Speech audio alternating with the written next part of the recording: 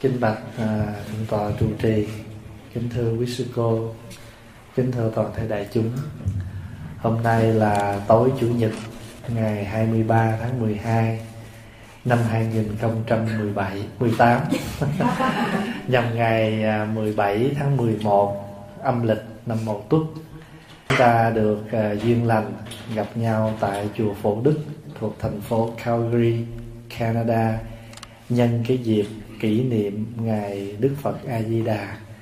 Đại chúng chiều nay có khỏe không? Trước hết là Pháp Hòa có lời tán thán công đức của đại chúng. Tối nay lẽ ra có một nơi sẽ hấp dẫn hơn nơi này rất là nhiều. Nhưng mà quý vị cũng đã dành thời gian về đây tu tập một ngày và giờ này, sau một ngày mệt mỏi rồi mà quý vị vẫn nán lại để cùng nhau có một buổi uh, sinh hoạt Phật pháp như thế này thì thật là quý hóa và nói lên được cái sự tinh tấn của đại chúng. Thưa đại chúng theo uh, Phật giáo Bắc Tông Hôm nay chúng ta thường gọi là ngày vía Phật Di Đà Quý vị nhớ là bên truyền thống Nam Tông Tức là Nguyên Thủy đó Nguyên Thủy Nam Tông là các nước Lào Thái Lan Ấn Độ, Miến Điện, Campuchia Không có lễ Phật Di Đà. Các bên truyền thống đó Chỉ duy nhất có Đức Phật Thích Ca thôi. Đặc biệt là các nước Phật giáo phương Đông Như là Việt Nam, Trung Quốc Nam Bắc Hàn, Nhật Bản Chúng ta có Phật Di Đà. Thì chúng ta biết Phật Di Đà Không phải vì Phật Di Đà xuất hiện ở cõi đời này mà đức phật di đà ở đâu? À ở cõi tây phương, cực cực lạc. Chỗ đó gọi là tây phương. Mà chúng ta biết phật di đà là do phật thích ca giới thiệu. Như trong kinh di đà đó, đức phật nói, này xá lợi phất, từ đây cách mười muôn ước cõi, ở phía tây có một thế giới tên là cực lạc. Ở đó có một vị giáo chủ tên là a di đà hiện nay đang nói Pháp. Và Đức Phật đó đã phát 48 nguyện Để độ chúng sanh về cõi, Mở một cái cảnh giới an lạc. Và trong đó có một cái nguyện là, Chúng sanh nào muốn sanh về cõi nước của tôi, Hãy nhất tâm niệm từ một hiệu cho tới mười hiệu Mà tâm không có tạp loạn, Thì khi mất họ liền được chúng tôi xuất hiện đưa rước họ về cảnh giới đó. Đó là một trong những nguyện trong 48 nguyện của Phật. Vậy bây giờ Đức Phật Di Đà ở cõi phương Tây, không sanh ở cái thế giới của con người mình. Vậy thì tại sao có ngày hôm nay mà gọi là ngày khách đảng của Phật Di Đà? Đã không có sanh, không có ở đây thì làm gì có ngày sanh? Mà không có ngày sanh thì lại càng không có ngày. ngày chết, ngày mất. Vậy thì 17 tháng 11 này ở đâu ra? À bởi vì vào thời nhà tống, ở trung hoa, cái tông phái tịnh độ đó, có một vị tổ thứ sáu.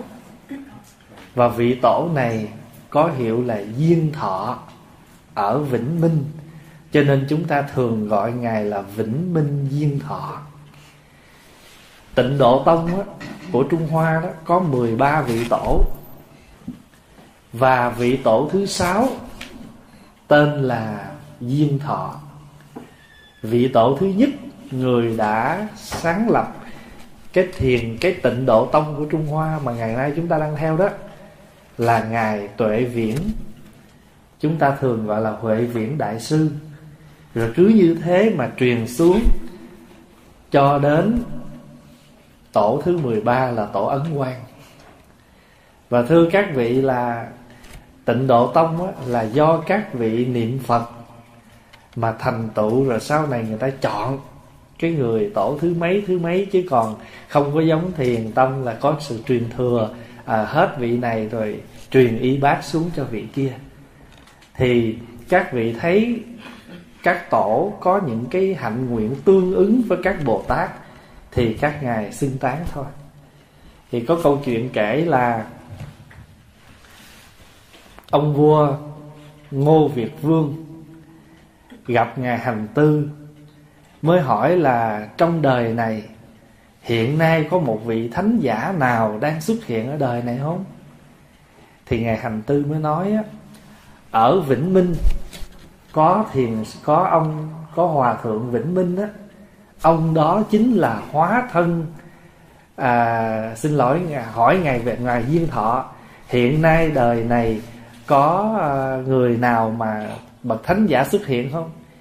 Thì hòa thượng duyên thọ đó mới nói cho ông vua ngô việt vương biết là có hòa thượng hành tư.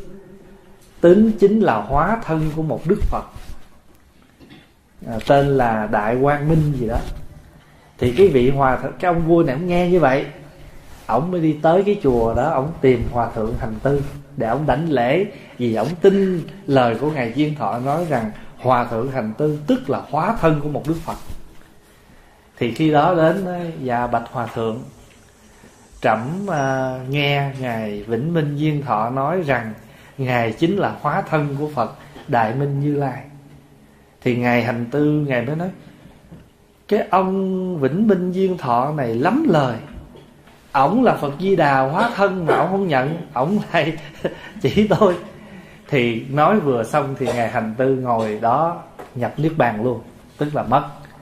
Rồi ngô vua, ngô việt vương nghe hòa thượng hành tư bữa nay chỉ ngược lại. Cái ông và giới thiệu mình đó, ổng cũng đâu có vừa, ổng cũng là phật di đà đó thì ông vua ngô việt vương mới chạy tới cái chùa để tìm ngài vĩnh minh Diên thọ để đảnh lễ hóa thân phật di đà thì lúc đó, ngài vĩnh minh Diên thọ đã viên tịch rồi từ đó, người ta mới quyết định lấy ngày 17 tháng 11 âm lịch là ngày sinh nhật của ngài Diên Thọ, làm ngày khánh đảng cho Đức Di Đà. Nói cách khác là đó là khánh đảng của hóa thân Phật Di Đà. Chứ còn Phật Di Đà đâu có ở khỏi đời này đâu mà có ngài.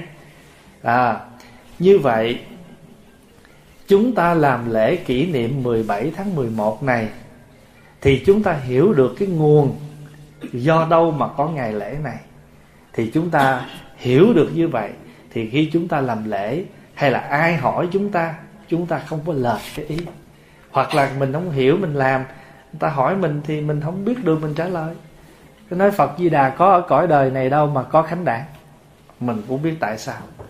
Hôm nay mình biết rồi. Vì hóa thân phật di đà được xác nhận qua ngày vĩnh minh duyên thọ.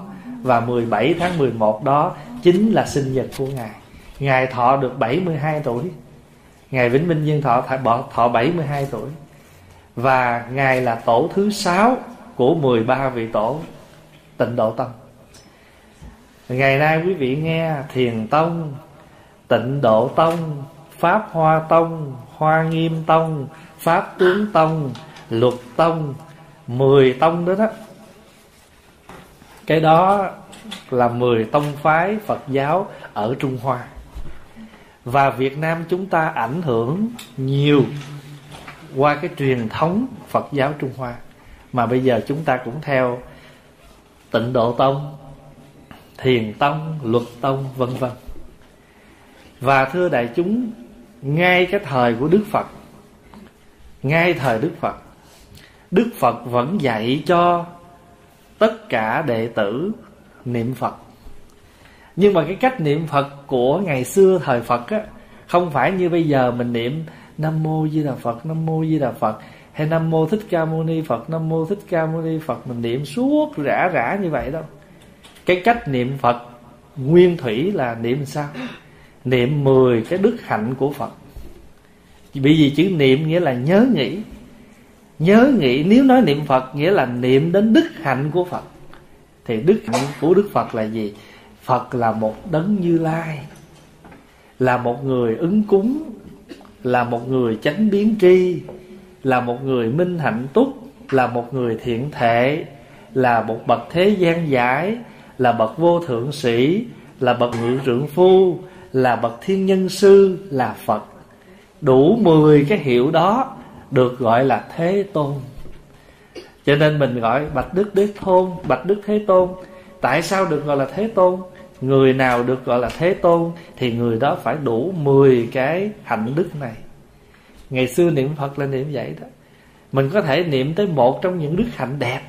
Ví dụ nha bây giờ pháp hòa ví dụ như à, mình biết à, bác à, nguyễn thị năm đi. Mình nói hôm nay tôi tự nhiên tôi nhớ tới bác nguyễn thị năm. Thì nhớ là gì? Là niệm đó. Nhớ là niệm đó. Tôi nhớ bác nguyễn thị năm bác có cái hạnh rất là tốt. Mỗi lần bác đi chùa là bác đều gọi ai đi bác đi ngang bác rước hạnh của bác là hạnh chở người đi chùa. Hạnh của bác đó là hạnh khuyến khích người ta tu. Hạnh của bác đó là hạnh tinh tấn. Đi đâu về mệt cỡ nào, bác vẫn trì kinh niệm tụng. Thí dụ ngồi thiền, thì nhớ tới người đó, thì lại nhớ tới những cái hạnh của vị đó. Thì chúng ta cũng thế. Niệm phật nghĩa là chúng ta nhớ tới những cái đức hạnh của phật để chúng ta noi theo. Ví dụ như nói phật là bậc thế gian giải.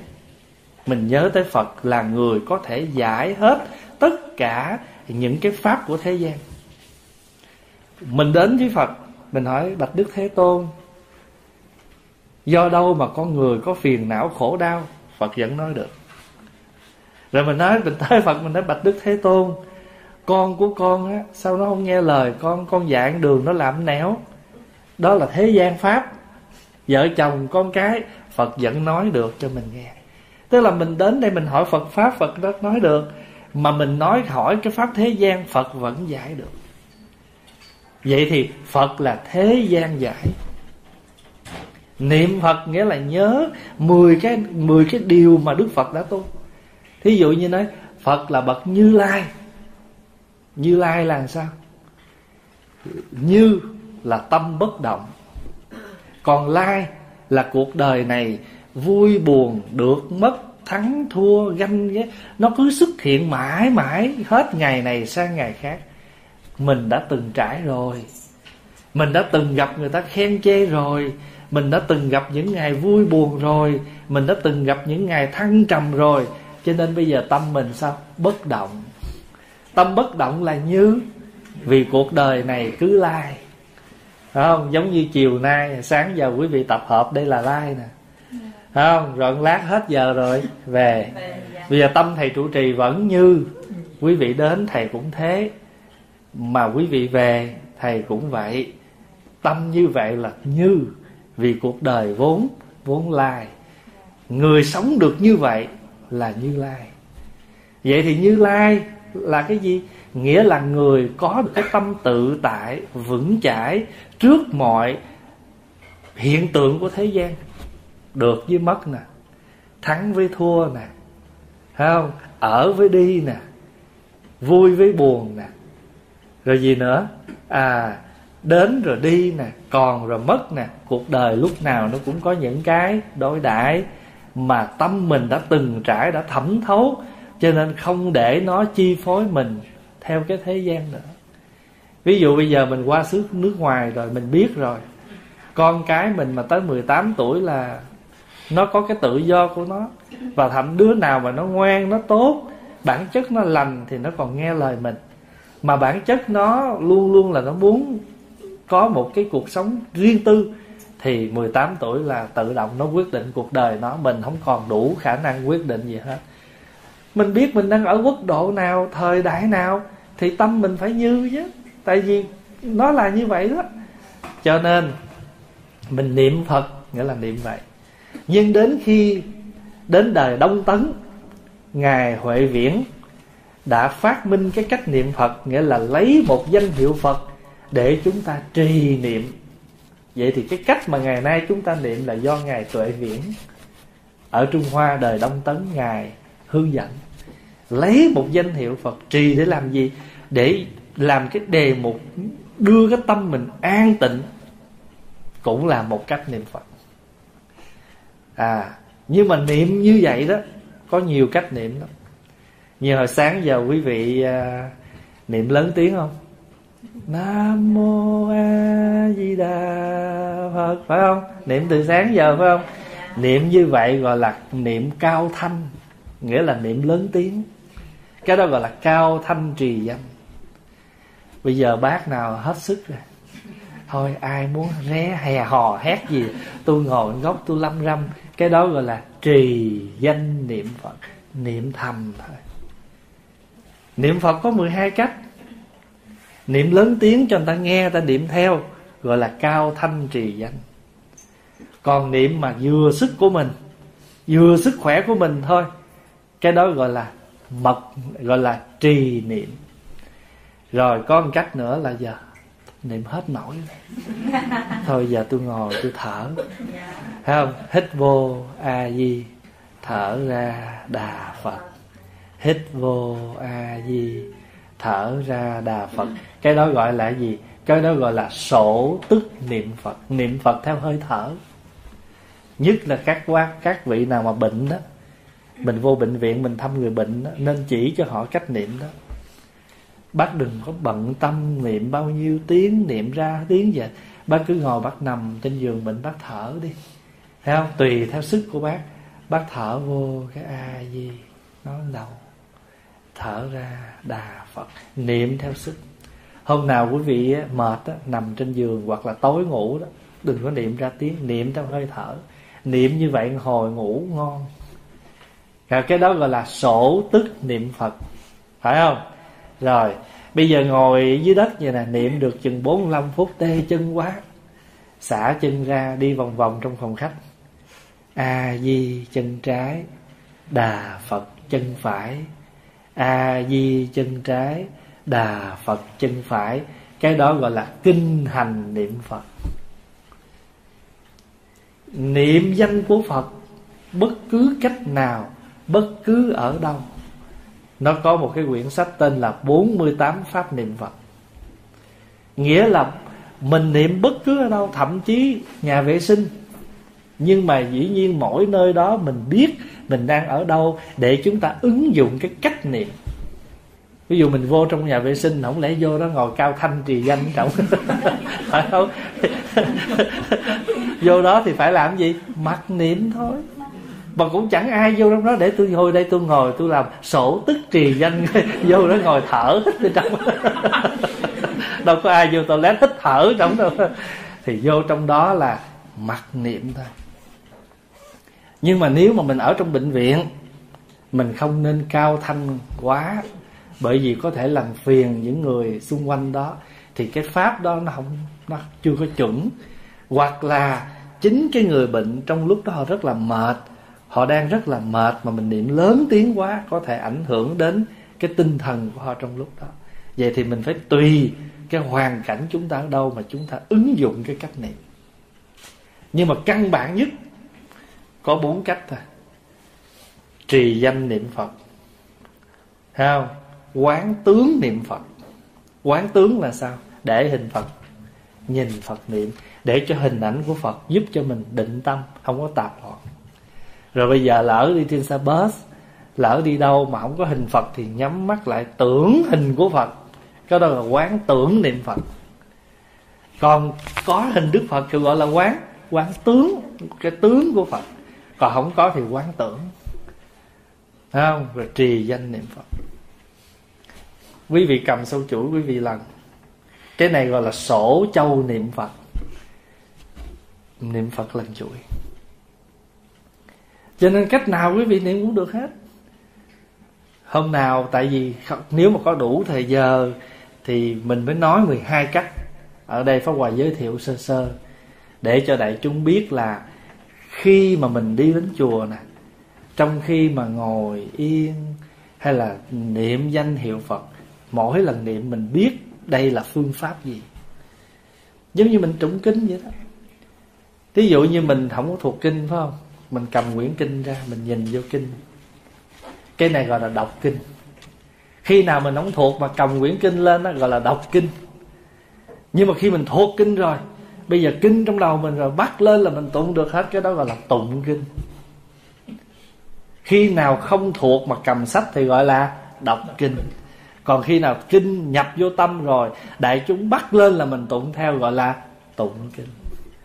Mà dù đọc kinh hay tụng kinh âm thanh của chúng ta vẫn liên hồi bất bất tiện. Miệng tụng, tai nghe. Để cô ta tụng, bình tụng theo tay cho ăn rập. Chứ đâu phải ỷ có quyển kinh rồi là bất cần mỏ, đi đường mỏ, tôi đi đường tôi. Anh này thỉnh mỏ chậm quá, tôi phải tụng nhanh lên. Gan hồ nó chổi với nhau. Thì hôm nay á có quà giới thiệu sơ cái đó và cái chính của chúng ta muốn nói là chúng ta thường nghe nói cõi đời này là cõi đời cực khổ. Mà ngược lại với cực khổ là gì? Cực lạc. Ngược, ngược lại với cực khổ là cực lạc. Vậy thì chữ cực là gì? Chữ cực nghĩa là cực kỳ là rất là là rốt ráo. Thí dụ như đấy cái này ăn rất ngon. Nhưng mà có cách khác nói, cái này ăn ngon cực kỳ. Phải không? À vậy thì cái chữ cực đó là nghĩa là nó cùng cực như là tổ cùng là rốt ráo. Thì có một cái nơi nào gọi là cái vui cùng cực, ngược lại với cái khổ cùng cực. Tại sao? Bởi vì cái người mà muốn đi, muốn sanh về cõi cực lạc phải phát hai thứ tâm. Hay nói cách khác, phải phát một thứ tâm. Phải có một cái tâm yểm và phải có cái tâm hân. Thế nào gọi là yểm? Yểm nghĩa là chán. Mình phải chán cõi ta bà. Thì mình mới hân gì? Hân là gì? Là thích. Thích cõi cực lạc thường thường con người mình mà hãy mà muốn ghét muốn ghét người nào, muốn tới gần người nào là trong đầu mình toàn là những thứ không dễ thương của người đó. Để chi biết không? Để mình dễ chán người đó. Còn khi nào mình thương người đó rồi á, trời ơi, cái gì người đó mình cũng thấy đẹp hết á. Không, em ăn, em nói, em cười, kiếp này không có hai người như em. Khi mình không thích rồi thì cái gì mình cũng nói cũng được rồi hôm nay á, bây giờ trong kinh nói á, có tám cái mà được gọi là cực lạc. Ngược lại với cõi đời này, có tám cái được gọi là cực khổ. Thứ nhất, cõi đời này, chúng ta bị một cái khổ của sanh. Rất hiếm người nào sanh ra đời mà không làm cho mẹ mình đau đớn hiếm lắm người nào sanh ra thì người mẹ cũng phải đau đớn có khi một ngày có khi nửa buổi có khi cả suốt mười mấy ngày Pháp Hòa biết có những người sanh ra mà người mẹ phải đau bụng tới 10 ngày sau mới sanh. Vì vậy mà người Trung Hoa đó, người ta gọi cái ngày sinh nhật của mình đó, là mẫu nan nhật. Mẫu là mẹ, nan là khó, nhật là ngày. Ngày mà người mẹ phải chịu khó cực dứt với mình. Cho nên thay vì gọi là sinh nhật thì chúng ta gọi là mẫu nan nhật. Nói vậy để chi? Để chúng ta nhớ cái ơn của mẹ. Và con người này cõi đời này chúng ta phải thọ khổ khổ của cái sanh đẻ. Và xin lỗi, do đâu mà người nữ có thai phải có sự dục nhiễm của nam nữ? Thì mới có được cái thai đó. Và khi sanh ra thì đau đớn, mà lọt lòng mẹ thì dơ bẩn, rồi phải rửa ráy, rồi thậm chí có nhiều khi sanh xong rồi, người mẹ ra máu, ra huyết, chết cũng có trường hợp như vậy. Vậy thì cái đời cái cõi đời này của chúng ta có cái khổ thứ nhất là sanh khổ. Mà ngược lại ở cõi cực lạc thì không có sanh khổ như thế. Mà cõi cực lạc gọi là gì? Liên hoa, hóa sanh thân lạc. Sanh từ đâu? Sanh từ hoa sen. Cho nên mới có câu đó nguyện sanh tây phương tịnh độ trung, cửu phẩm liên hoa, vi phụ mẫu. Sen chính phẩm ở cõi cực lạc làm cha mẹ của mình làm mẹ mình. Vì sao mà, vì sao? Vì chúng ta sanh không phải bằng dục nhiễm của nam nữ mà thọ thai, mà bằng sự thanh tịnh.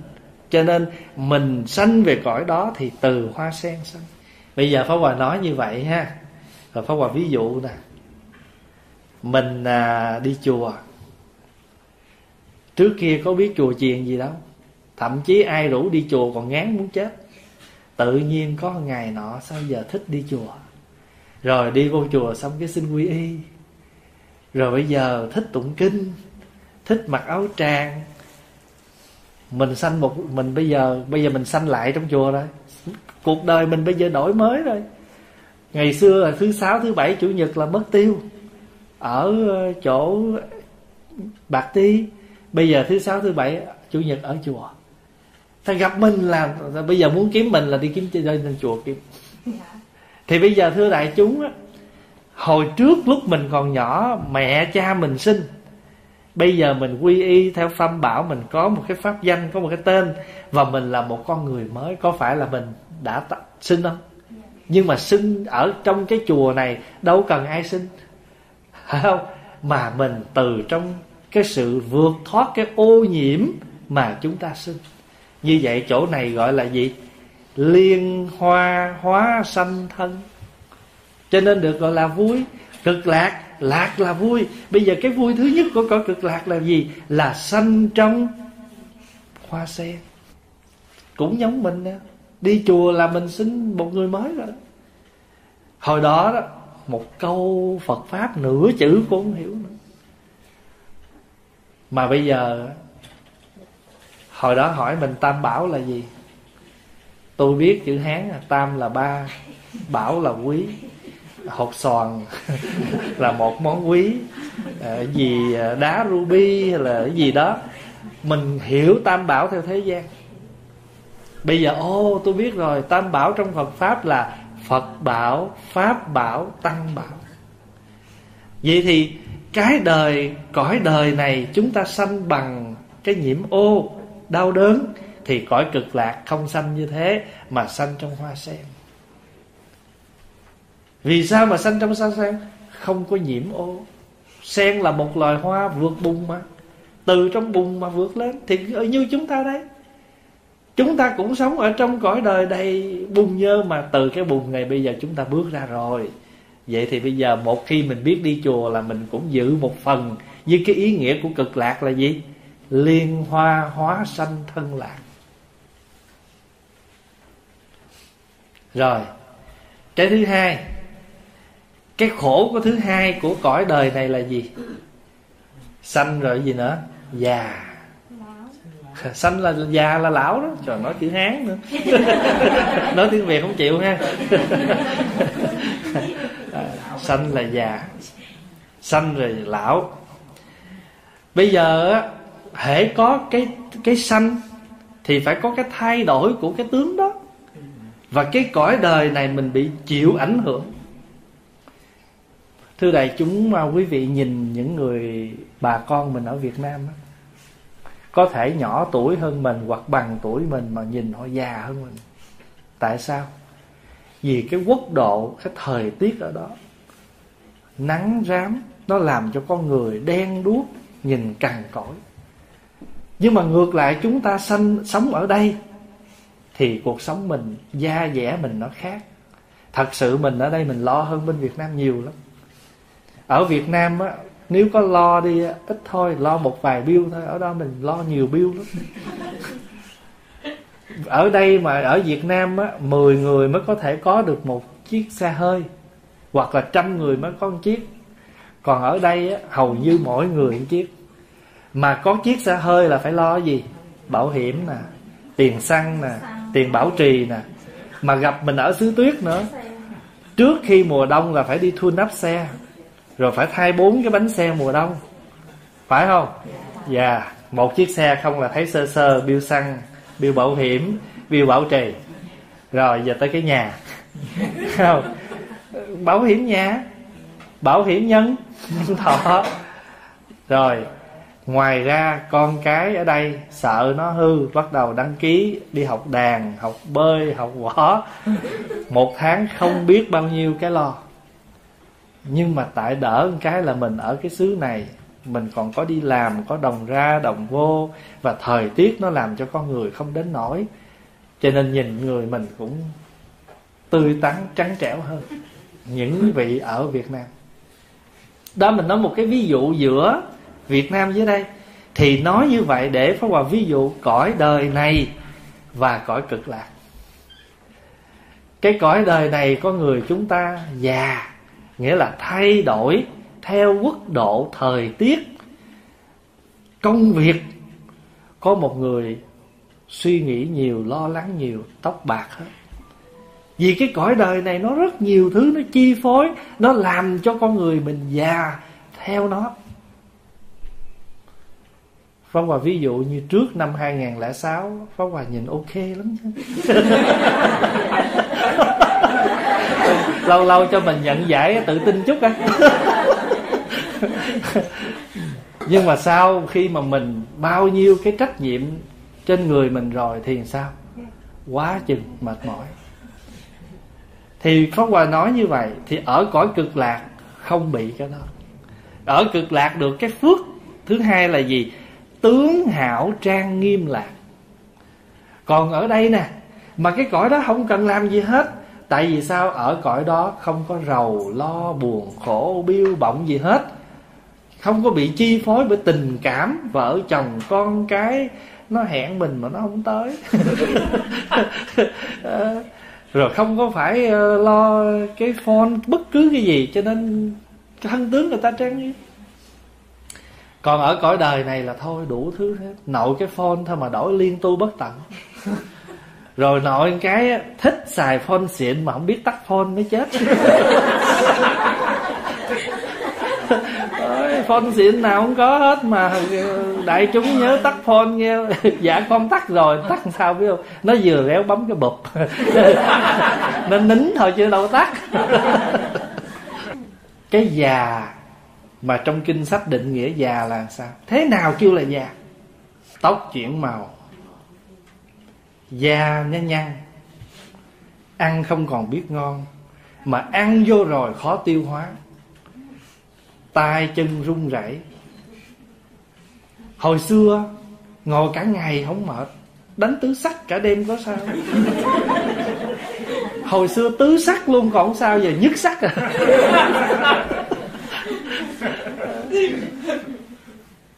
tự nhiên mình thấy mình mệt mỏi. Thì trong kinh sách định nghĩa thế nào là già? Từ tóc nha. Tóc đổi màu. Mắt mờ, da nhăn, răng rụng, ăn không ngon, ăn không tiêu. Gối mỏi, tai rung. Đủ thứ hết. Đó là hiện tướng của già. Bây giờ quý vị để ý coi sức khỏe của mình mỗi năm là mỗi xuống dốc. Mỗi năm là mỗi xuống dốc, chứ đừng có nói là mình nói như vậy là nói có một cái khoảng cách, một cái chu kỳ là một năm đó. chứ nhiều khi tháng trước, tháng sau là mình đã thấy khác rồi. Thậm chí có những người đang khỏe sau một cái cơn bệnh ruột thừa, ruột dư gì đó, đi vô một ca mổ ra là sức khỏe nó nó yếu liền. Cơ thể mình đó mà hễ có sự giải phẫu là nhất định sẽ xuống sức đó là già. Nhưng mà ngược lại ở cõi cực lạc thì thân tướng hảo trang nghiêm. Tướng là cái tướng cái cái form hảo là đẹp tướng hảo là tướng đẹp. Trang nghiêm ở đời này mình mà muốn đẹp là phải làm dữ lắm đánh mấy lớp luôn. Trên này thoa đây thoa, thoa đủ thứ hết nó mới đẹp chứ đâu phải tự nó đẹp đâu, mà cõi cực lạc khỏi. Cho nên cái chữ trang nghiêm á, nghĩa là khi chúng ta tu tập là có sự trang nghiêm.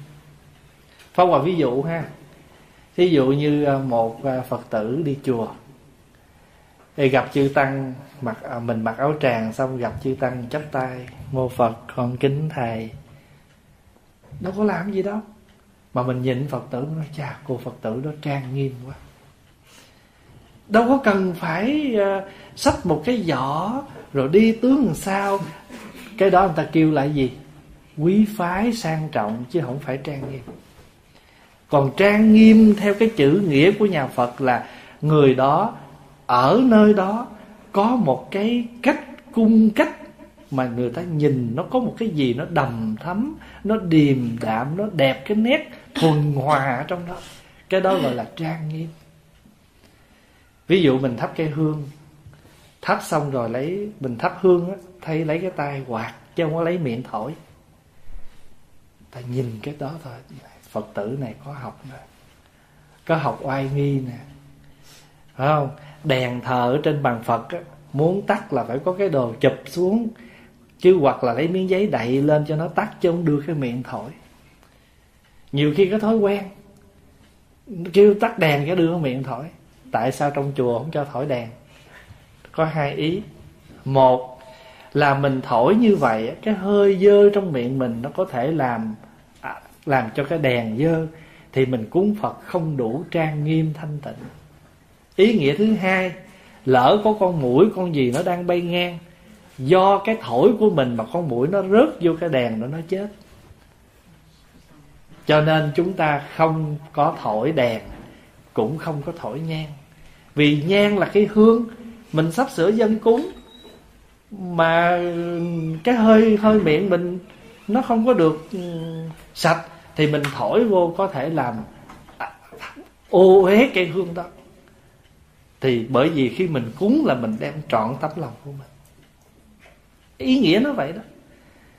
Cho nên á chữ trang nghiêm là khi mình làm cái gì, mình nói, mình làm, mình đi đứng, ở trong đó nó toát ra được một cái đạo hạnh, một cái sự thanh tịnh từ nội tâm, thì nhà phật gọi là trang nghiêm. Ví dụ như hồi nãy, giờ này đạo tràng đã trang nghiêm thanh tịnh. Vậy thì muốn trang nghiêm thì chúng ta phải có sự thanh tịnh. Thanh tịnh nó mới trang nghiêm mình làm gì mà ồn náo thì ta đây sao chỗ này nó nó nhộn nhịp, nó ôm um sùm. Còn cái chỗ nào yên tịnh mọi đông người mà vẫn giữ được cái nét yên tịnh thì nó wow, trang nghiêm quá. Cho nên phật tử chấp tài chấp ngay ngắn vậy xá phật, xá chư tăng, cúi xuống. Chứ không có xá sơ sơ. Có nhiều khi vừa xá vừa ngước, khỏe không? mình xá phật. Xá xuống. Thì chúng ta nhìn cái xá đó thôi. Trang nghiêm quá. Vậy thì cõi cực lạc là tướng hảo trang nghiêm lạc. Còn cõi đời này cái già nó chi phối. Do đâu mà con người dù không lo gì con người nó cũng già mà nó già theo thời, thời theo cái tuổi tác. Nhiều có nhiều người ta già mau hơn là kêu già hát đó. hoặc là do đâu mà có người già lẹ do lo lắng buồn khổ. Cho nên cõi đời này á, sở dĩ nó có những cái biến đổi nhanh lẹ là tại vì cái khổ nó chi phối mình có nhiều người chỉ một đêm rầu thôi, ngày hôm sau ra. Cho ta mới ta mới có câu là, tâm sầu bạch phát, lòng mà rầu, tóc bạc tâm sầu bạch phát. Phát là tóc. Vậy thì cõi đời này chúng ta bị cái chi phối thứ hai là khổ là già khổ. Nhưng mà cực lạc thì thân tướng trang nghiêm. Tại sao? Vì không ơn không oán, không sầu, không già, không chết, có đâu luân hồi. Nói tóm lại, những khi chúng ta sao, dù chúng ta sống ở đời này, bây giờ so với cái người mà ít lo rầu với cái người thường lo rầu. Hay nói cách khác là cái người sống mà tâm tư họ thảnh thơi nhẹ nhàng, nhìn họ, cái tướng của họ nó cũng khác cái tướng lo rầu của người đang khổ đau. Rồi, cái thứ ba, con người của chúng ta ở đời này bị chi phối bởi một cái thứ ba. Con người mình chi phối bởi cái thứ ba là gì? Là bệnh. Phải không? Sanh già bệnh. Rồi, bệnh là sao? Thật ra, con người chúng ta đã có cái thân này thì cái bệnh nó sẽ đến. Nhưng mà có nhiều người bệnh lẹ hơn, nhanh hơn. Một phần là do đời sống của chúng ta hàng ngày. Ví dụ như mình ăn uống không có cẩn thận ăn, không có kỹ lưỡng cũng dễ bệnh. Rồi, và hiện đời này, vì con người vì muốn đáp ứng những nhu cầu, cho nên họ xài nhiều cái hóa chất hơn. Ví dụ ngày xưa mình ăn trái cây chín cây nhiều, bây giờ mình ăn toàn là trái cây gì? Có thuốc, có hóa chất. Tại vì con người càng đông, tiêu thụ càng lớn thì cây nào mà nó mọc cho kịp, thì buộc lòng người ta phải bỏ thuốc rồi ngay cả bây giờ con vật cũng có thuốc luôn. Cộng rau cũng có thuốc luôn. À pháp hòa có thấy có những nơi người ta trồng xà lách. Tối nay gieo hạt, sáng mai có xà lách rồi. Thì bây giờ mình ăn, quý vị để ý hôm nào mình đi, mình hồi xưa mình, pháp hòa nhớ hồi đó mình mới qua đây đó. Mình mua rau á, về mình không có rửa gì hết á. Để vậy mình gói trong báo á, mình cất trong tủ lạnh nhiều khi cả tuần bây giờ quý vị thấy không? Rau nó mau hư lắm. Rau nó mau hư mà nó thối vì sao? Thuốc quá nhiều. Thì quý vị cứ tưởng tượng những cái chất đó mà nó vô trong cái ruột của mình, cái bao tử của mình, thì sao đây? Đó là chưa nói người ta nuôi heo, nuôi gà, toàn là ăn quá chất. Rồi mình mua về mình đâu có ăn liền đâu. Họ làm ở trong hãng á, họ khi nuôi là đã quá chất, phải không? Rồi hãng đem về cắt thịt gì đó. Ướp hóa chất lần thứ hai. Bỏ freezer. Rồi đem ra bán. Bán mà hôm nào nó sale là mình đi ra mình hốt. Hốt về cả tủ vậy đó. Mình đâu có ăn liền trong vòng tuần lễ, ăn 10 cái cục đó đâu. Ăn mấy tháng trời. Rồi để trong freezer là đã một quá trình rồi, phải không? Rồi ngày mai ăn là tối nay xả đá đi làm về tối chiều bắt đầu, cái đó nó mới tan đá. Thì quý vị tưởng tượng nguyên một cái buổi chiều mà nó xả đá, thì bắt đầu nó đã có vi khuẩn rồi. Rồi mình nấu xong rồi, mình không có thời giờ. Mình nấu một lần ăn tuần. Cứ như thế. Cái độc hại nó phải tăng trưởng thôi. Đó là chưa nói hà tiện nữa nha chưa nói mình mà hà tiện mà cất giấu rồi để dành rồi mà nó móc meo lên rồi xớt rồi cắt gọt rồi ăn lại.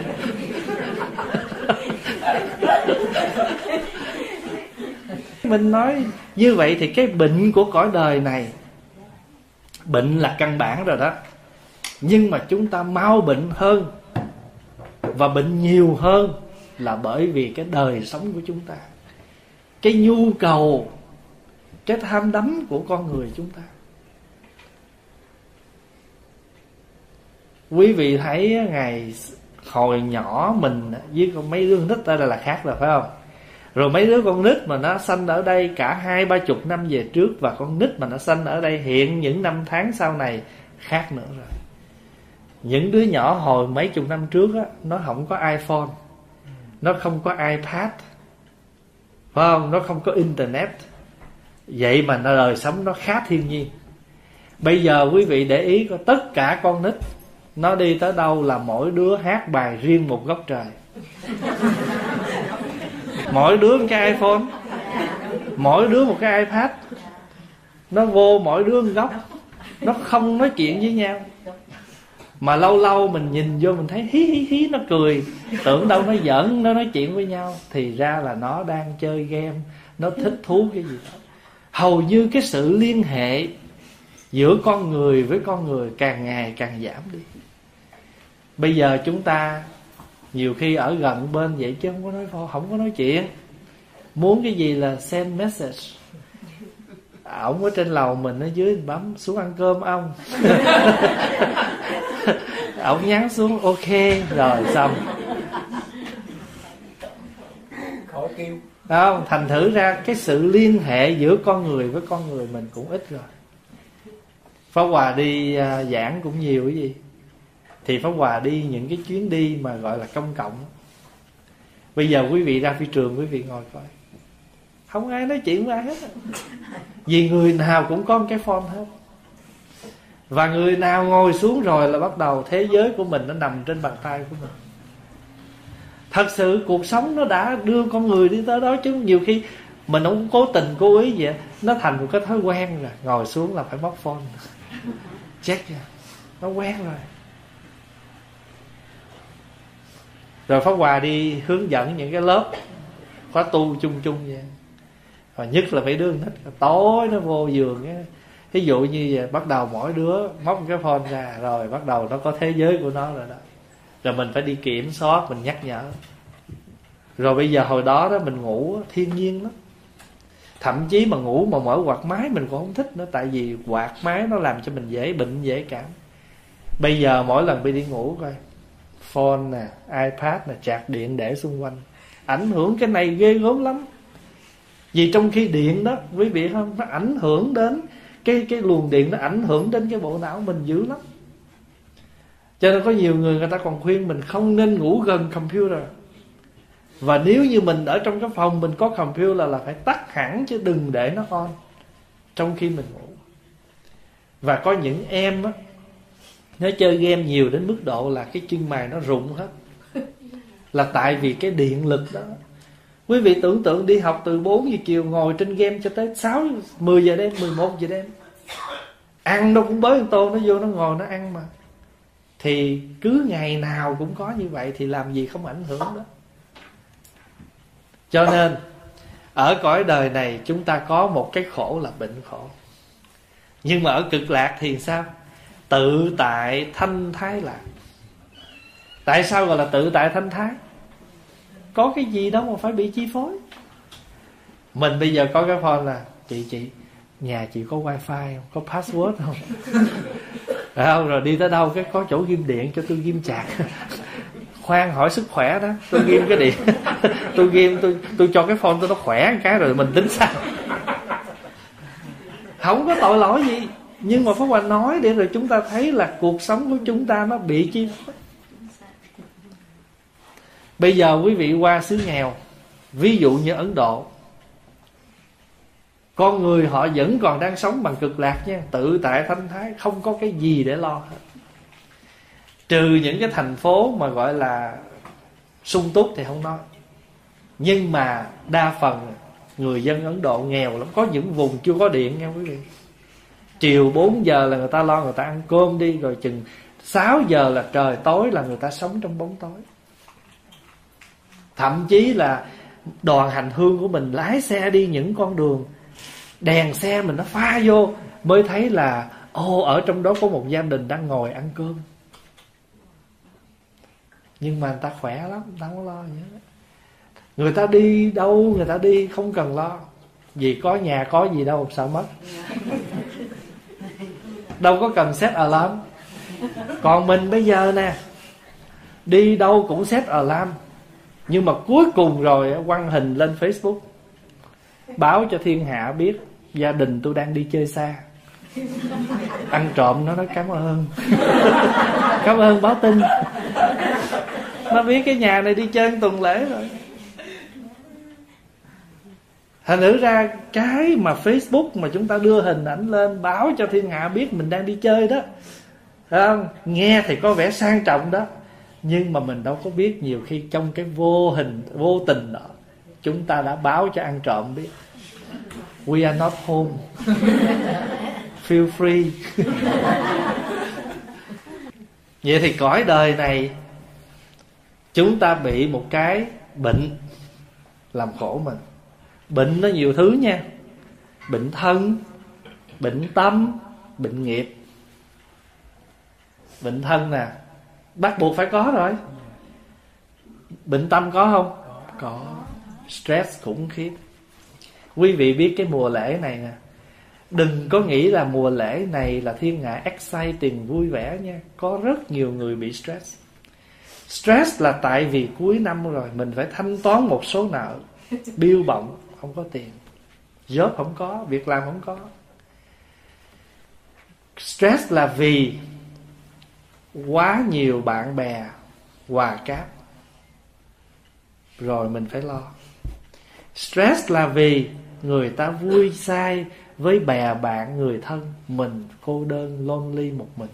Nhất là những người độc thân họ không có tu tập thì rất là dễ bị stress như em đây. Alone. Trời ơi tối 24 là người ta đi hết trơn thầy cũng bạn bè tới con đó, ông còn đông hơn nữa. Dạ con đâu có nhiều rồi chứ thầy là nhiều lắm á. Thì, thưa đại chúng, là bệnh nó có ba dạng. Bệnh thân, bệnh tâm, bệnh nghiệp. Thì cõi đời này chúng ta chi phối bộ một cái gọi là bệnh đó. Nhưng mà bù lại cõi cực lạc không bị cái bệnh này. Vì sao? Vì tự tại thâm thái lạc. Cho nên được gọi là cực lạc thí dụ cõi đó, đó bồ tát bất thối là bạn lữ. Nghĩa là các vị bồ tát không còn thối chuyển trên đường tu làm bạn của mình. Còn ở đời này á bất thối bồ tát bạn lữ ít lắm. Đừng nói nghe tặng quà mà không tương ưng cái tiền mà họ tặng mình họ cũng nói mình keo nữa đó. Cho nên là họ tặng mình cái món hàng đó mình phải biết cái giá trị của món hàng đó rồi mai mốt tới phiên họ mình phải tặng tương đương chứ không là người ta quánh giá. Ở cõi đó, ta không có phải chuyện à, thù tạc giảng lai, mời mọc ăn uống, bao bọc với nhau. Còn cõi đời này, bao, làm sang, làm sọp, nó mau xẹp. Bao nó năm lần mà nó chẳng bao mình lần nào là bắt đầu rồi đó. Xài không được. Thí dụ vậy ha rồi chưa nói gì nữa. Cõi đời này có những cái phong tục là gì? Vô ăn chia biêu. Ăn trăm nó hỏi biêu muốn chia mấy lần? Khổ không? Vì sao? Vì cõi đời này còn thối chuyển lắm. Thối chuyển là gì? Lui sụp. Tâm tánh phải thù tạc vãng lai. Người ta đối với mình như vậy, mình không đối lại là bắt đầu mất bạn. Rồi sợ người ta cười, sợ người ta nói đủ kiểu hết cho nên thối chuyển cõi đời này khá khá nhiều. Nhưng mà ở trên đó đó, không có cái chuyện mời mọc vãng lai thù tạc gì hết, cho nên khỏi lo. Như vậy, hôm nào mà chúng ta sống, chúng ta được quen biết những người bạn bất thối, mình có buồn, mình muốn nghỉ đi chùa, người ta vẫn khuyên mình, trở về tu tập chuyện phiền não bạn bè, người này người kia đó là chuyện bình thường của thế gian. Tại sao mình lại thối chuyển bằng những cái chuyện như vậy? Đó là bất thối bồ tát. Đúng rồi, chị ở nhà đi. Đừng thèm tới đó nữa. Đi chùa phiền não quá đi chi? Đây đây là bất là bồ tát thối chuyển nha. Chuyển là dời, thối là lui họ dời mình từ đây qua đây rồi họ lui mình mất tiêu. Cho nên ở đời này quý vị để ý. Đừng có nói là bạn bè là ba con ruột thịt với nhau. Cũng dễ buồn nhau vậy chỉ cần xê xích một chút.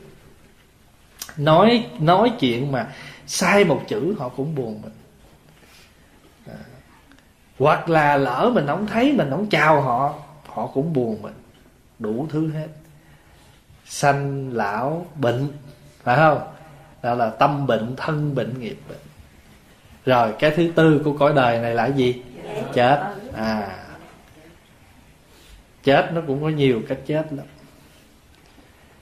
À, chết mà đung ra mà chết kêu chết ngất. Chết lạnh kêu chết ngắt. Xỉu kêu chết giấc nhưng mà cõi cực lạc thì thọ mạng vô lượng lạc. Cực lạc là thọ mạng vô vô cực. Thọ mạng vô lượng. Cõi đời chúng ta thì thọ mạng hạn lượng. Ví dụ như mình nói ờ, hồi xưa đời người trăm năm. Nhưng mà đời người giờ còn nhiêu? Có 60 năm mà nhưng mà có nhiều người còn không tới tới 60 năm nữa, chưa hết đời người nữa. Thấy không? Và cõi đời này, hiếm có người sống tới ba số lắm. Thường thường là hai số thôi. 98 tuổi 99 tuổi, ai mà được ba số là lên trăm. Hiếm lắm. Pháp Hòa nhớ à, Hòa Thượng Trí Tịnh đó. Mỗi khi mà Ngài khai thị, Ngài hay nhắc đó. Hiếm có ai sống tới ba số lắm. Cho nên hồi xưa người ta có câu đó. Sơn trung tự hữu, thiên niên thọ, Thế thượng nan phùng bá tuế nhân. Ở trên núi cao tự có cây cả ngàn tuổi, Nhưng mà ở đời này Tìm một người trăm tuổi khó lắm. Thế thượng nan phùng bá tuế nhân. Kiếm một người trăm tuổi đâu phải dễ. Nhưng mà nếu chỉ cần lên rừng sâu Kiếm cây ngàn tuổi khó. Vì sao? Vì chúng sanh ở đời này Sanh hữu hạn, Tử vô kỳ. Sanh thì có chừng có biết chừng nào đó, Nhưng mà tử không biết. Ví dụ mình nhìn cái người đó, Căn bản một người mang thai là 9 tháng 10 ngày. Thì đó là sanh hữu hạn chứ gì? Ai cũng có thời hạn để sanh. Nhưng mà tử thì vô kỳ, Không nói được. Không ai bảo đảm được thọ mạng của mình. Ở cõi cực lạc thì thọ mạng vô lượng. Cho nên Đức Phật A-di-đà có ba nghĩa. Chữ A-di-đà có ba nghĩa. Nghĩa thứ nhất là vô lượng thọ. Nghĩa thứ hai là vô lượng quan. Nghĩa thứ ba là vô lượng công đức. Đó là nghĩa của chữ a di đà nhưng mà nói tới vô lượng quan á, đức phật di đà có tới 12 ánh sáng. Vô lượng quan, vô đối quan, vô xưng quan, vô ngại quan, diệm vương quan, nhớ không? Quý vị hay đảnh lễ đó. Nam mô an dưỡng quốc cực lạc giới di đà hải hội vô lượng quan như lai. Nam mô an dưỡng quốc cực lạc giới di đà hải hội vô xưng quan như lai. Nam mô an dưỡng quốc cực lạc giới di đà hải hội diệm vương quan như lai thì những cái chữ đó là để diễn đạt lên cái ánh sáng của Phật Di Đà đó. Cho nên Đức Phật Di Đà có 12 ánh sáng.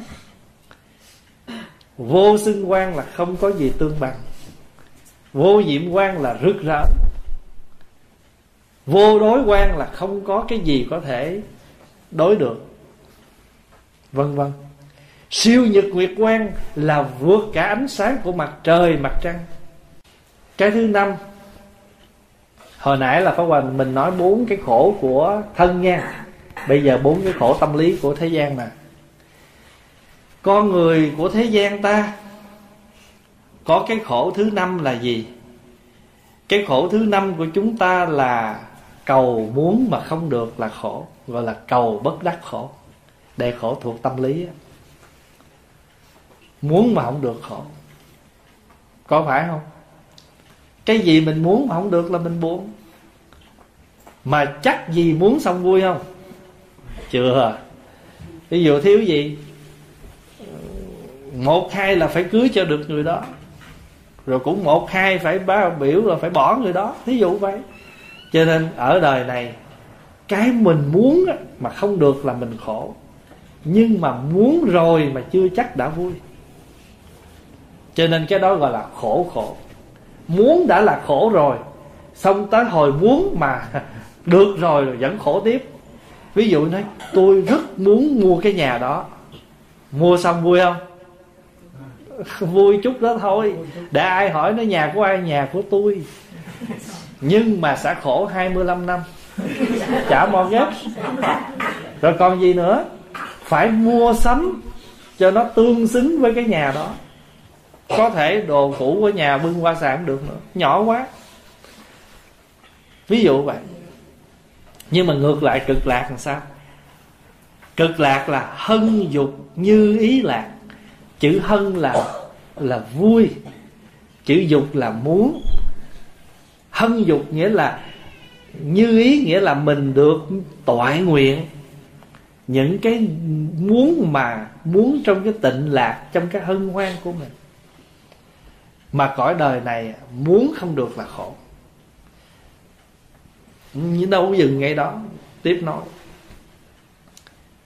Thí dụ bây giờ mình có con, không có con khổ lắm, buồn. Con đứa cho hữu hỷ. Nhưng mà khi mà có đứa con rồi là mình khổ, chăm sóc. Nó từ lúc nó nhỏ cho đến khi nó 13 Khi nó bước sang tuổi 13 là cái khổ chăm sóc hết rồi. Bây giờ cái khổ gì? Lo lắng không biết nó chơi với ai nó quen với ai. Rồi mình mong cho nó học thành tài nó có vợ có chồng cho mình yên. Chắc yên không? Không. Nửa đêm mà thấy điện thoại nó là rầu đó không biết chuyện gì nữa đây. Đó mà bây giờ mình có một đứa con mình giữ con cho nó mà mình không giữ đứa thứ hai nó buồn. Và đứa thứ hai mình không mình giữ xong mà đứa thứ ba nó sanh mình không giữ nó buồn. Cho nên cái mình muốn thì được rồi đó nhưng mà sau đó rất nhiều cái chi tiết sau cái muốn đó của mình. Khổ lắm chứ đâu. Thầy trụ trì thầy than hoài hoài.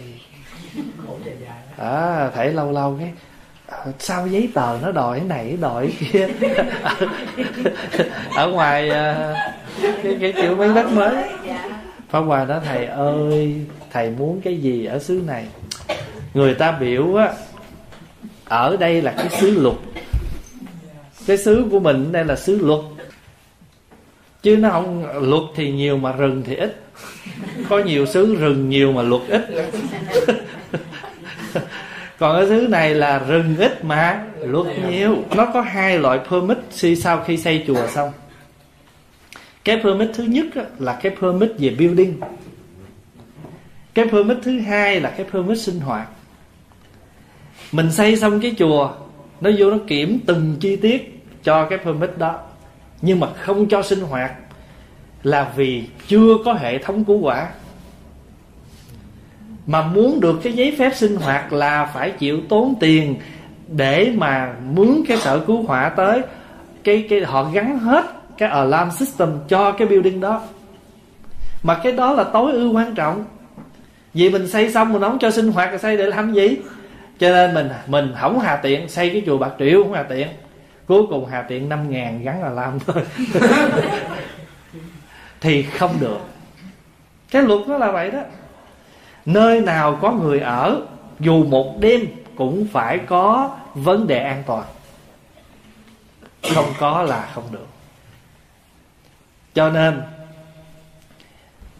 ở cõi kia người ta không có muốn cái đó. Tại vì sao vì bất cứ nơi nào người ta ở cũng đều là thanh tịnh một màu. Còn ở đây là mình muốn cái gì là phải làm cái đó. Mà làm á, cái này nó xanh là cái kia nó xanh cái này xanh cái kia nó xanh chứ đâu phải bình thường. Cầu muốn mà không được là khổ. Nhưng mà muốn rồi mà được cũng chưa chắc đã vui ví dụ như đấy tôi muốn qua mỹ tôi muốn qua canada. Qua được tới đây rồi, vui con xong cái muốn qua thôi. Giờ qua làm gì? Không biết tiếng anh. Thì phải đi học. Không có việc làm là phải đi xin. Vân vân. Cho nên chắc gì qua đây đã là hết khổ đâu.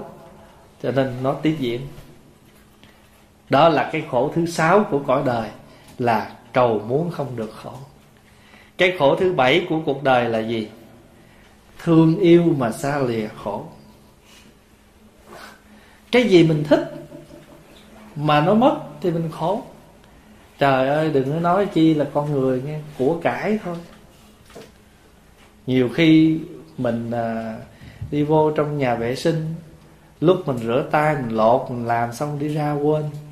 Vừa đi ra thổi thôi chừng mấy phút sau quay lại nó đi lên cõi trên ở. Rồi ôi tức muốn chết nó sao bữa nay vía phật mà tôi xui quá. Đi chùa niệm phật từ sáng giờ phật không phù hộ. Cái gì mình thích mà mình phải xa lìa là khổ, gọi là ái biệt ly khổ. Tại sao? Tại sao trong này có cái khổ? Vì chúng ta bị một cái then chốt là gì? Là ái. Ái nghĩa là gì? Yêu thích. Mà cái gì mình yêu thích là nó có đối tượng. Mình là người yêu người kia là được mình yêu. Hay nói cách khác là người đó là người yêu của mình. Hãy cái gì mình yêu là phải của mình nha. Mà hãy cái gì còn cái của mình á, là mình khổ. Nhưng mà thật sự không có gì của mình hết cái nhà cũng phải của mình, vợ cũng phải của mình, con cũng phải của mình. Vì mình ái nó quá cho nên mình nghĩ nó là của mình. Thí dụ mình có một thằng con trai duy nhất, là mình nghĩ nó là của mình, thương nó mà khi nó có, nó không có vợ, mình rầu lắm. Mình muốn nó có vợ, nhưng khi nó có vợ xong rồi, khi nó có vợ xong rồi, thì mình lại ganh với cái người dâu. Tại vì con dâu bây giờ phần tình cảm của mình với đứa con. Mẹ, chồng, nàng dâu bắt đầu có chuyện. Vì mình có đứa con duy nhất, cho mấy người mà có con duy nhất mà thiếu sự tu tập thiếu sự bao dung nhìn xa thấy rộng là lúc nào cũng sẽ bị cái đó. Vì mình nghĩ mình mất một phần tình cảm. Mà cái chuyện đó làm sao được? Hồi xưa nó ở với mình. Đi làm về nó, nó nó lúc nào nó cũng có mình nó lo. Bây giờ mình đi kiếm người thứ hai thì nó phải chi phối thời gian và công việc chứ. Tại sao mình lại muốn nó y chang như cũ nữa? Không hiểu được điều đó là bắt đầu có chuyện. Cho nên từ đó cái bây giờ mình ái nó rồi mà mình cảm giác là nó biệt ly mình cho nên mình khổ mà mình thiếu cái sự nhìn rộng là hai người là thời gian nó phải chi phối khác. Hai người là nó phải rồi mai muốn nó có con tới ba người là nó phải chi phí khác. Mà nó, nó có ra gia đình nó ra riêng thì nó phải có chi phí khác. Mình không hiểu cái chỗ đó mình cứ thấy một phần của mình thôi. Cho nên cái gì là của mình thì cái đó mình khổ.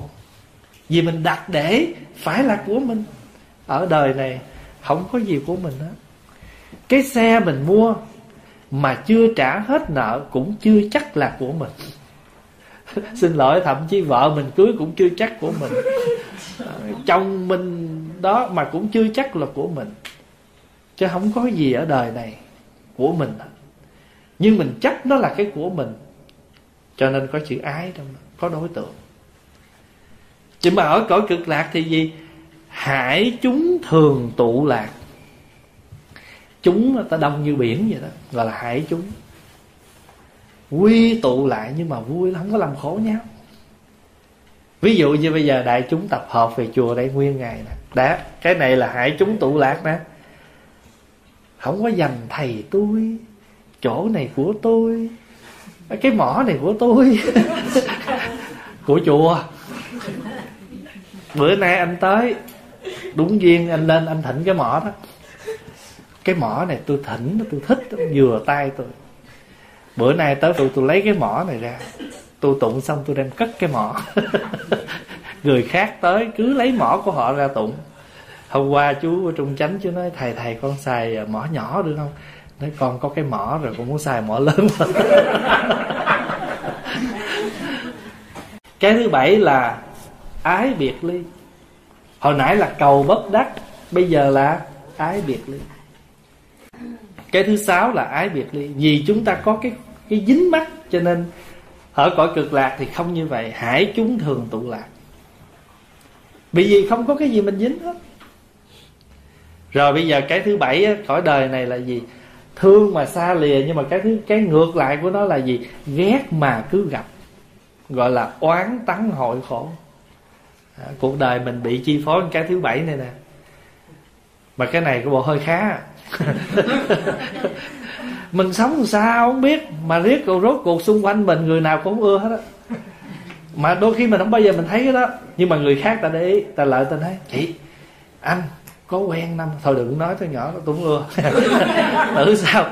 Mai mốt mình gặp, hỏi biết bạn không? Thôi đừng nói tới là rõ tôi cũng ưa. Mà mình sống làm sao rốt cuộc, mà không ưa ai hết trơn á. Cái này mình phải hỏi lại là, ủa, vậy là cái máy của mình, cái máy tình thương của mình nó có vấn đề hay là thiên hạ xung quanh có vấn đề? Có nhiều khi á, mình ghim điện vô, không có điện, đem dục rác nhưng mà mình quên cái điều là đâu phải cái máy nó hư, mà có thể là do nguồn nguồn điện chỗ đó nó hư. Cũng thế. Coi chừng cái nguồn tình thương của mình nó bị xâm thiên ron chứ tại sao không lẽ người ta xung quanh ta sống dở đến mức độ là đến với mình cái là ta trở thành người thấy ghét sao? Cái này mình phải quán lại. Quán tán hội. Tôi không ưa nó mà sao tôi gặp hoài? Rồi mình cứ đi tha, mình mình đi khoe với người này, người kia đó. Người ta nghe mình riết, ta ớn, ta nói thôi, ôi cái chị này ai chỉ cúng mưa hết, thôi tôi cũng né chị đi, chứ bữa nào tới phiên tôi chỉ ghét được người một thì chỉ ghét người hai, mà chỉ ghét năm người thì tôi chỉ là người thứ sáu. Có ngày cho quán tăng hội. Nhưng mà cõi cực lạc thì không như vậy, bởi vì sao? Cõi cực lạc là thượng thiện câu hội lạc. Thượng thiện câu hỏi là gì? Toàn là những người có cái tâm thượng thiện, không có cái tâm nhỏ mình còn giận người ta là tại vì cái tâm mình nó còn nhỏ nhất nó còn thiếu cái lượng từ bi. Nó thiếu cái tâm bao dung. Chứ còn nếu mà mình đủ cái tâm bao dung á, thí dụ bây giờ người đó, người ta nhỏ mà nó hỗn đi. Mình trách nó, nhỏ mà hỗn với tôi ghét. Nếu người có tâm bao dung gì, nó nhỏ, nó không biết, nó hỗn mình là người lớn, không có trách nó. Nếu mà mình ấy, mình dạy nó. Đó. Cái đó là cái tâm bao dung. Thấy không? Rồi ví dụ như giờ cái đứa kia nó mới đi chùa mà được thầy thương hơn. Nó mới đi chùa mà nó biết nịnh nó không thèm thương. Mình nghĩ khác nha. Thầy có lòng từ bi. Người mới tới thầy luôn luôn thầy gian tay thầy tiếp nhận để cho họ quen dần với chùa. Mình đem cái tâm mình phóng ra. Thật sự hồi nãy mình nghĩ vậy là được nhưng mà thường lắm mình phóng ra rộng đi. Cái người đó, họ là mới nè. Hay là thậm chí mình nói, cái người đó còn trẻ, họ có thể lo được cho chùa. Thôi mừng, chùa có thêm được một người trẻ để người ta lo cho chùa. Ví dụ vậy đó. Nhiều khi cái đứa con mà nó hay làm khổ cha, mẹ, mà cha mẹ lại quan tâm nó nhiều. Anh chị thấy nóng ruột con đưa tiền cho má như má cũng cho cái thằng đó hết. Nó, nó phá hư nó phá của. Nhưng mà nếu mình làm cha mẹ mình sẽ nghĩ khác. Thưa đại chúng á sông mà càng sâu ở dưới đáy nó càng bình lặng. Lòng của cha mẹ cũng thế. Tình thương là bình đẳng như lòng đại dương. Nhưng mà nhấp nhô là tùy theo cơn gió.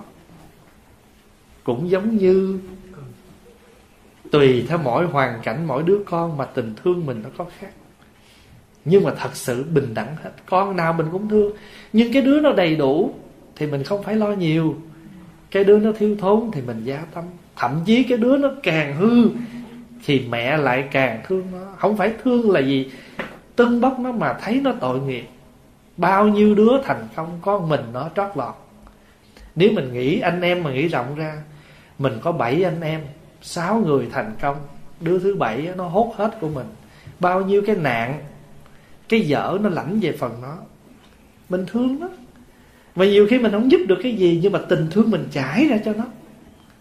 Thì tự nhiên nó nó nó diệt được cái chữ oán, cái chữ ghét ở trong tâm ta. Thật sự ra, thí dụ mình cái người đó ta làm chuyện thấy ghét, mình ghét, không sao. Đó, nhưng mà cái đó cái đó là bình thường mình hãy tu sao mà đưa cái bình thường là lên cái phi thường. Phi thường là người thấy ghét mà mình không ghét. Không thương cũng không sao, nhưng đừng ghét. Cuộc đời này giữ cái tâm mình. Dù mình không thương được, nhưng đừng ghét. Đã không thương mà ghét nghĩa là mình không có chất bổ, mà lại còn mang chất độc vô nữa thì uổng quá. Thí dụ như đấy tôi không khỏe nhưng tôi không bệnh, tôi bình thường là tôi vui. Tôi không giàu, nhưng tôi không nghèo, tôi bình thường đủ sống là tôi vui. Tâm ta cũng thế.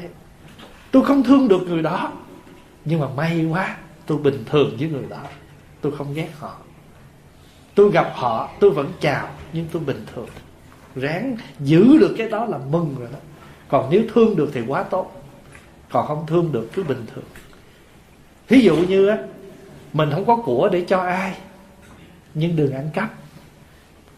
Đã không cho mà còn ăn cắp của người ta thì tệ rồi. Còn nếu mình hay hơn nữa, cho. Còn lỡ không có cho, đừng lấy của người ta. Thế thôi. Vậy thì nếu mà mình sống được như vậy đó, làm tâm của mình là cái tâm thượng thiện. Cho nên ở cõi cực lạc ta nói là sao? Toàn là các bậc thượng thiện nhân câu hội nhất xứ. Toàn là sự có mặt của các bậc thượng thiện nhân. Ví dụ như hôm nay, ở đây cả ngày, nhường với nhau cái chỗ ngồi, nhường nhau một cái món ăn. Thí dụ tới phiên người mà còn có một tô phở mà hai người con không sao con ăn hoài, bác dùng đi. Con ăn cái gì cũng được hết. Thành nữa mình, nếu mình sống được như vậy đó là mình giải được cái oán, cái trách của người mà tự nhiên nó làm cho cái tâm mình sống đẹp. Thật ra mình trách người ta là chuyện bình thường, không ai nói gì được mình cả. Có cái điều là mình hãy đưa cái tâm mình tới cái chỗ thượng thiện cao chút là vượt cái bình thường. Là người đó như vậy mà mình vẫn có thể ôm ấp được. Thì cực lạc thì không thế. Còn đây là cực khổ nè chính mình sống vậy cho nên lúc nào tâm mình cũng có vấn đề hết. Thưa đại chúng á, ráng sao mỗi ngày mình nghiệm lại, hôm nay tâm tôi có buồn ghét ai không? Nếu không, tôi hân hoan cho ngày này, vì tôi đang sống trong cảnh cực lạc. Cuộc đời này coi vậy chứ giữ tâm mà không ghét ai, khó lắm. Thôi giờ, mỗi ngày đi ha. Mỗi ngày trước khi đi ngủ nghiệm lại, ngày hôm nay tôi có thù ghét ai không? Nếu không, tôi mừng cho ngày này. Ngày mai, sáng mở mắt ra, thức dậy miễn, mỉm miệng cười 24 giờ tinh khôi, xin nguyện sống trọn vẹn, mắt thương nhìn cuộc đời. Tôi sẽ nhìn cuộc đời bằng con mắt thương. Để ngày hôm nay tôi ráng thương. Có nhiều khi mình ráng dữ lắm. ráng ăn, ráng ngủ, ráng làm, ráng đi, ráng tu. Mà thương là nhưng không có ráng. Cái gì cũng có ráng mà không có ráng thương có nhiều khi mình nghe lời phật dạy, thôi kệ, phật nói vậy để tôi ráng thương thương hồi mỏi mệt quá. Bị tôi gồng quá. Tôi ráng thương nó quá. Tôi sao mà mình thương được cái bình thường. Rồi bây giờ cái cuối cùng ha cuộc đời này, cái cõi cõi đời này chúng ta có một cái khổ nữa. Cái cuối cùng là ngủ ấm xí thành. Ngủ ấm là gì? Sleep well. Ngủ ấm không phải là ngủ không lạnh. Chữ ngủ này là năm. Chữ ấm này là cái chất. Năm cái chất mà nó hỗn tà, hỗn hợp lại để có con người là sắc, thọ tưởng hành thức trong bát nhã tâm kinh nói đó. Cái này gọi là ngũ uẩn. Nó gom lại để duy trì con người. Ví dụ như cái thân xác mình là sắc. Cảm nhận vui buồn, nóng lạnh, thọ, tưởng tượng. Hồi nãy bác nó không biết còn đây không? Phó Hòa xuống, cái Hòa ngồi, Cái bác nhìn, phó Hòa ngồi, Cái bác trầm tới hỏi Thầy có phải thầy Pháp Hòa không? Dạ phải. Trời ơi Ở ngoài trẻ hơn trong phim. Như vậy là hôm nay trong phim Mình coi phim là mình tưởng. Phải không? Sắc Thọ Tưởng Hành là gì? Là sự vận hành liên tục. Thức là sự phân biệt. Vậy thì có phải rõ ràng năm cái này nó làm nên con người mình không? Mình có sắc thân có cảm nhận, có tưởng tượng, có liên, có sự vận hành liên tục và nhìn gì là phân biệt ngay. Nhìn anh này, ồ, anh này nấu chè ngon nè. À chị kia nấu canh ngon nè. Cái thức nhìn gì là biết nấy, phân biệt liền. Con người mình sống năm cái đó. Năm cái đó gọi là ngủ uẩn. Nhưng mà nếu năm cái này nó làm khổ mình, thì gọi là ngủ ấm. Cũng là nó nhưng mà hai trường hợp để xài giữ. Nó chỉ là một sự kết hợp để duy trì con người. Sắc, thọ, tưởng, hành, thức, chúng ta gọi là ngũ uẩn. Nhưng nếu chúng ta bị dính mắt đó, thay, nó thay đổi mình buồn, sắc diện mình thay đổi, cơ thể thay đổi, sắc tướng này thay đổi, buồn cái thọ mình nó không giống như mình muốn. Cái tưởng mình nó không giống như mình nghĩ. Buồn khổ. Nó chi phối mình vui, buồn, thịnh suy. Cái này gọi là ngủ ấm xí thành thức khuya chừng vài ba hôm mà ăn chả giò chừng bữa mà ăn nhiều chút, thiếu ăn đồ mát là bắt đầu mụn nổi. Miệng đau, vân vân. Xí thành nhưng mà ở cõi cực lạc thì sao? Thân tâm tịch tịnh lạc thân và tâm này, chữ tịch là vắng lặng, chữ tịch là vắng lặng. Tịnh là lắng trong, lạc là niềm vui. Vì con người gọi cõi cực lạc, người ta sống thân tâm, người ta lúc nào cũng ở trong cái trạng thái tĩnh lặng. Còn mình đó sao biết không? Thấy là exciting. Cho nên mình dễ bị dụ lắm ví dụ bây giờ mình vô mua cái món hàng, thấy cái món đó mắt sáng lên, nhào tới, bưng lên, rồi cái người bán biết rồi đó. Đánh tâm lý liền, anh này anh mê cái này lắm rồi nhất định không xuống giá. Tâm lý mà. Có người ta sống tâm lý cho mình cái gì mình thích, mà biểu lộ liền à. Để ý ha, người nào mình thích cái nhào tới, ôm, bắt tay. Còn người nào mà nó không thích coi thấy quýt lảnh lắm. Nó biểu lộ liền chơi cái người mà người ta có đủ cái tịch tịnh ta nhìn ta biết liền. Rồi, không ưa nhau rồi.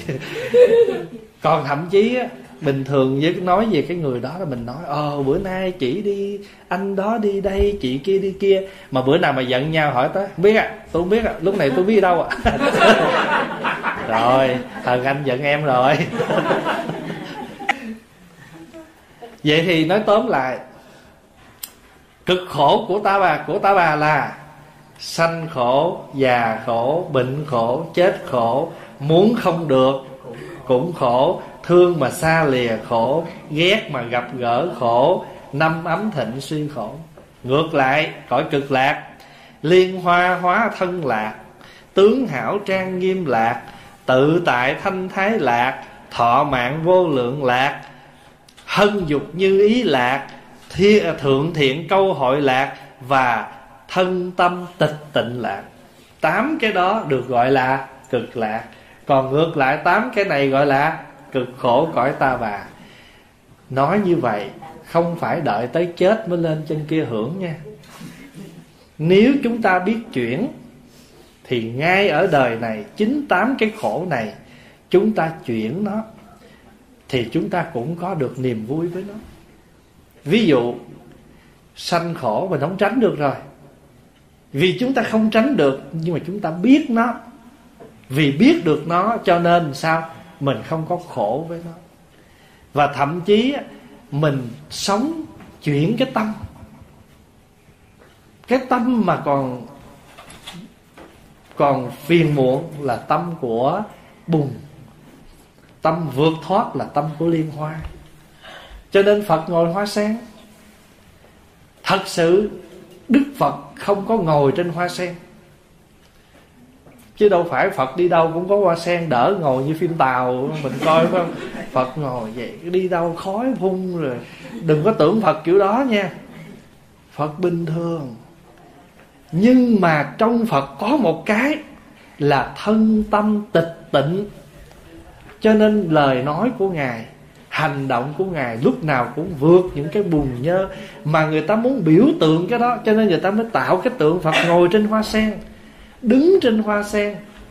Chứ không phải là ngày xưa phật thật sự đi đâu cũng có bông sen ngồi đó, bay bay vòng vòng vòng vậy đó. Và mình mình đang nhắm mắt vậy mình, cái phật xuất hiện, phật khói phun ra, phật nói, what do you want? Mình hiểu phật như vậy là mình tội nghiệp cho phật khi nào tâm mình không còn dính? Khổ đau phiền muộn là vượt thoát. Cho nên á, hoa sen xanh là vậy đó. Không còn nhiễm ô của dục lạc. Cho nên hệ có dục có có dục theo thế gian á có ái dục theo thế gian là có sự khổ. Lạc thì chút đó nhưng mà cái khổ nó dây dưa. Còn ở cõi cực lạc á thì người ta thật sự vui là vì người ta không có sanh nở như thế gian này, mà người ta hoa sen hoa sanh. Thì cũng giống như đó. Chúng ta ngồi đây, ai cũng đã từng một lần sanh của thế gian rồi. Nhưng khi mình hiểu đạo, mình liên hoa sanh ở trong chùa, bây giờ không có bị nhiễm ô gì nữa hết. Cho nên, thưa đại chúng mình không vì ông năm, ông bảy, ông tám, ông mười mà đi chùa thì ngày nay cũng không vì các ông đó mà mình bỏ chùa. Nghe đầu mình đâu phải vì họ đi. Hay nói cách khác, vì không vì họ mà phát tâm tu. Mà nếu mà vì thấy chúng sanh khổ mà phát tâm tu, thì chúng sanh có làm khổ mình mình phải tu dữ nữa. Tại vì thấy không? Không tu là dính chùm khổ. Mình cũng là một chúng sanh khổ. Cho nên đặc biệt lắm. Bồ tát nghĩa là gì? Là những người những người chúng sanh như chúng ta nhưng các ngài giác ngộ và lấy cái giác ngộ đó giác ngộ lại cho chúng sanh, cho nên gọi là bồ tát thế thì chúng ta cũng là những chúng sanh khổ đây nè. Và chúng ta đang muốn vượt khổ. Còn nếu không thì chúng ta cộng khổ. Chúng ta là những người có nghiệp và chúng ta đang tu để chuyển nghiệp. Còn không thì chúng ta cộng cộng nghiệp. Thôi, hết giờ rồi. thưa đại chúng mà tối hôm nay à, được nhân duyên về đây thăm quý vị qua lời à, à, dạy của thầy trụ trì ở đây. Thật sự ra khi mà thầy dạy về đây thăm đại chúng pháp hòa cũng nói hai. Con không biết à thời tiết tốt thì đi. Rồi hôm nay thì à, rất là hoan hỷ là bởi vì đường rất là sạch à, sau cái thời lễ trên ờ, trúc lâm thì ờ, mấy huynh đệ mới đi xuống đây à, và giờ này được gặp đại chúng à, sau à, gọi như là một tiếng rưỡi sinh hoạt với nhau. Cảm ơn à, đại chúng nhất là quý bác hàng thượng tọa không? Đại đức ngồi dưới này với thượng tọa ngồi ở trên. À, đã chịu khó ngồi suốt ngày hôm nay cho tới giờ phút này. Mặc dù ngày mai quý vị còn phải đi làm thì nhân đây pháp hòa xin được à, kính chúc toàn thể đại chúng và gia đình. À, cuối năm 2018 được nhiều niềm vui. Bước sang năm mới 2019 đầy nhiều niềm vui hơn nữa. Và nhất là sự tu tập của mình có nhiều tiến bộ. À, chỉ có sự tu tập mới có thể chuyển hóa từ cực khổ thành cực lạc mà thôi. Chúc đại chúng được như chúng ta hồi hướng chúng sanh vô biên thể nguyện độ phiền não vô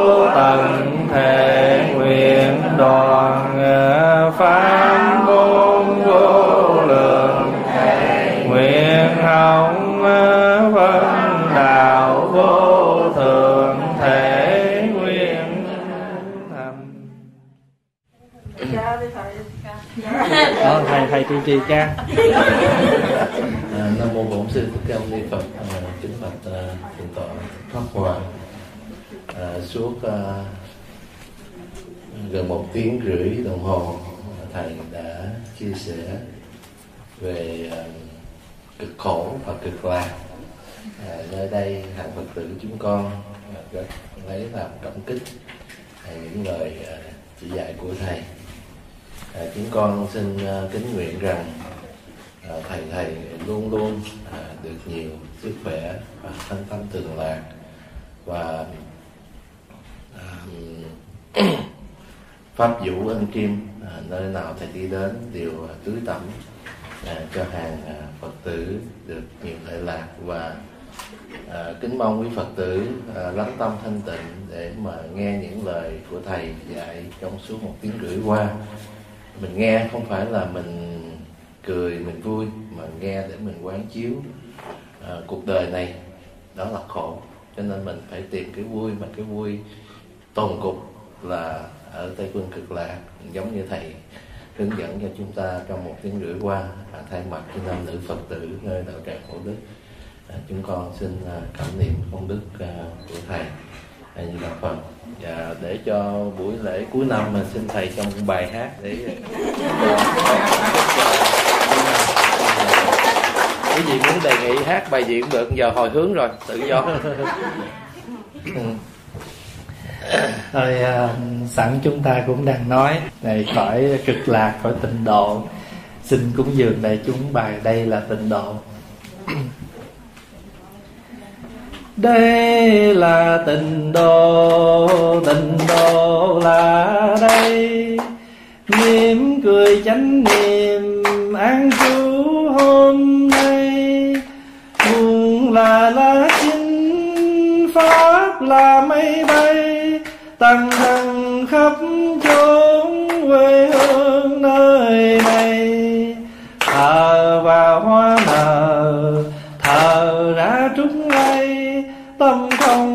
Ràng buộc tiêu giao tháng ngày.